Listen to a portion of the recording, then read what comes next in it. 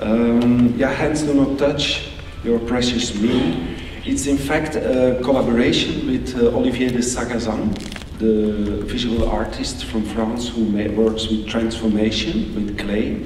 He came to me, I was busy with the performance, and then we said, yeah, he, he, he did, did since very long time his solo performances where in fact he said, yeah, I was a painter and I wanted to get in the painting, and he made these transformations.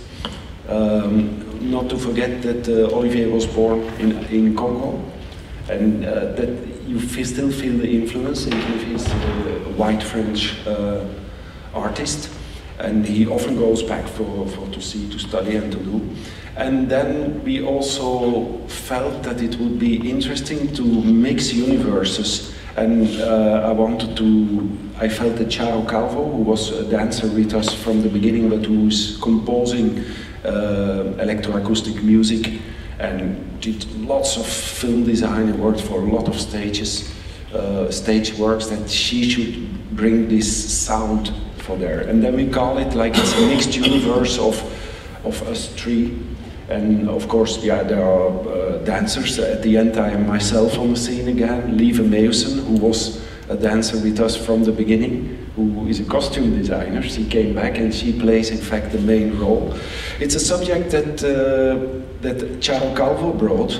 It's about Inanna, the uh, Mesopotamian goddess of 4,500 years ago, when it was still matriarchat, and where the, the women, the goddess of the women, had the power because the men were just transporting the materials, and because the it's a, it's a funny anecdote that because the markets were further away, they, they could have material longer time and that's how it became little by little patriarchat.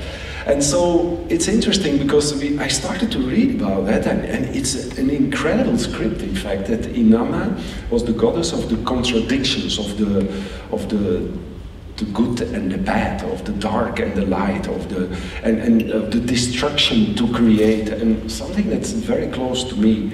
And she had a sister, Ereshkigal, who went to the underworld. So I thought it's perfect for Olivier that he plays the sister of Inanna, who starts there, goes to the underworld, transforms himself, becomes non-gender, he loses his female thing. Uh, and Lieve stays there. And the Mies, because in the title it's, it's a script from one of the tablets they find. It's one of the first writings in humanity.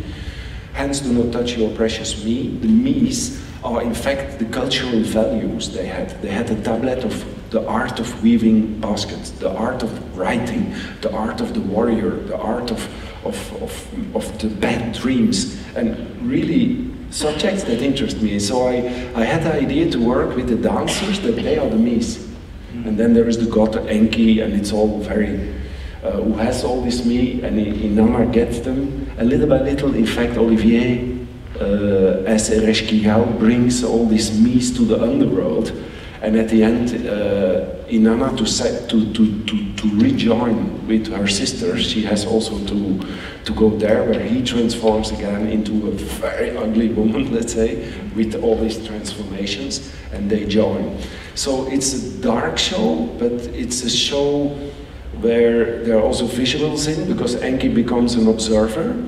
Like normally in the anecdotes, she makes him drunk or something. We had like, yeah, that that's not good me drunk on the scene. So, so I sell my Mies for a camera and I become a kind of observer where I observe the story through image. Very simple. So you are on stage, huh? Yes, yes, at the end I'm on stage. I like it. And Scattered Memories will be also on stage? Uh, yes, of course. Uh, yeah. because the Scattered Memory, yeah, we last year had an interview and, and um, the journalist said, yeah, congratulations with your 35 year existence of Ultima Vez. I said, 35 years?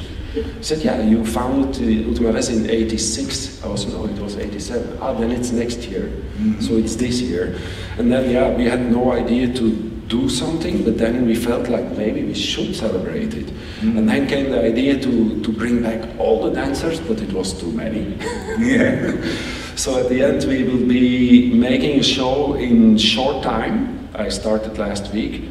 12 days rehearsal by person, but as I know the person is very good, it's all lined out and it will be 23 people on the scene where we have memories of it, we, we do scenes as a memory, we reverse things, we change musics.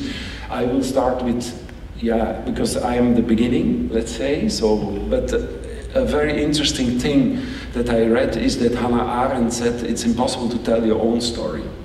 You have to tell your story by people who are very close to you. Mm-hmm. And that helped me that I said, okay, I'm going to tell my story with the people I loved and who gave so much to, to my list. Said is back, the blind uh, dancer, uh, lots of people. Of course, there are some missing because it's difficult to organize. They're also busy. They're very good artists, I must say.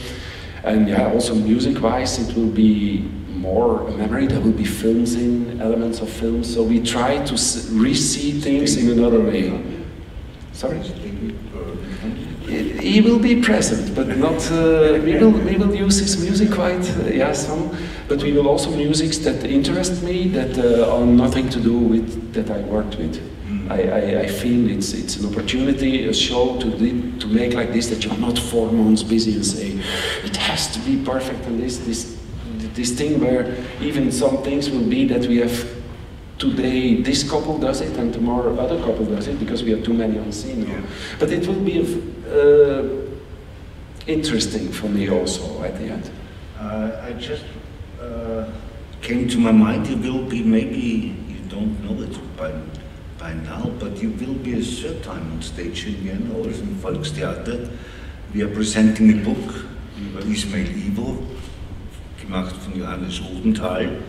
And you are so kind also, as we couldn't do it through the memorial last year where Dada was dancing because of COVID. You had COVID at yeah, that time. Yeah, yeah. Uh, but you will do now, I think, with three dancers uh, in this book presentation a small present for Ismail as well, and that's really touching for me as well. Also, the other part of the artistic program will be Dudu Tucci. Maybe the older one of you remember, he was the percussionist of Ismail for the first years. It was wonderful. Yeah, I just want to add because it, it it's funny because uh, Arno, our Belgian singer who made also music for me, he also passed away. And so, yeah, I saw him three weeks before I saw his last concert. He gagged on the stage like this, so I will make it with two memories in the same time, effect. Uh, mm, yeah. Two beautiful people that we, yeah, that we will miss, but who will always yeah. stay present. But they stay in our heart. Dada, uh, you start on Saturday your big German tour, and as I already mentioned before, uh, you had the chance for the first time to show the sacrifice in Johannesburg, yeah. which is, uh, and I think you liked it a lot because all your family finally was there. Uh, you're doing it again on the 29th, 31st of July at least in the Wiener Burgtheater. I know you like Volkstheater very much, but we put you now in, in this space. Uh, how is it going in general? Because last year uh, was a difficult time yeah. because of your ankle, mm -hmm. and but still you danced for Ismail in this memorial. But this year, I think you will be back on stage. Yes. Yes. I'm very excited about that. Um, so yeah, I mean it's been a very long journey, and because of COVID, um, it feels as if I've made four works in like a year and a half um, because we would start and then lockdown would start and then we had to stop for a couple of months. Um, so it's been a quite frustrating journey, but I, um, the sacrifice is inspired by the Rite of Spring. Um, and so when I was studying at P.A.R.T.S., uh, 2004, 2006, um, we had uh, Dominique Duszynski, who actually worked um, with Pina Bausch, and she came when we were doing RAPE to teach us just a little bit of spring, and I was very intrigued um, by the music. I mean, Stravinsky's music just blew my mind. Um, and also, just Pina Bausch is my favorite choreographer, so because of the dance drama in her work, I really related to that. Uh, and so with the sacrifice, what I wanted to do is explore the whole idea of ritual. Um, in South Africa, we have 11 official languages, And in the company, we have people that speak Xhosa, that speak Zulu, that speak Tswana, English, Afrikaans, you know, so it's like a medley um, of everything. So I wanted to be able to fuse all these rituals and cultures and traditions together. Um, yeah, which was uh, tricky, um, but uh, just also we got to know each other through that and we got to uh, be able to make it a work about acknowledging our ancestors. Um, I wanted to create a sacred work, a work where we're saying thank you. It is a work that I wanted to dedicate to my grandmother, uh, who passed in 2015, and I was on tour at the time. So I was given a choice, okay, you can go to the funeral or you can carry on touring. We were doing Swan Lake then. So then I said, you know, she was my biggest supporter, so she would have liked for me to to perform. And I was saying yesterday in the interview that black funerals are dramatic. You know, so I didn't want the drama of watching people try to throw themselves in the grave. I mean, it, it becomes a whole show.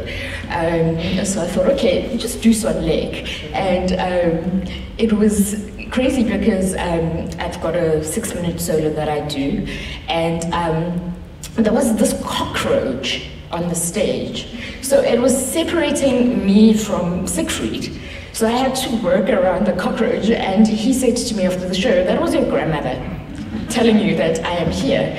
You know, so yeah, the work was about just celebrating her life um, and also other people's. Um, journeys uh, because a lot of people lost people and I, I, was also saying yesterday that in the beginning I wanted to make a dark work.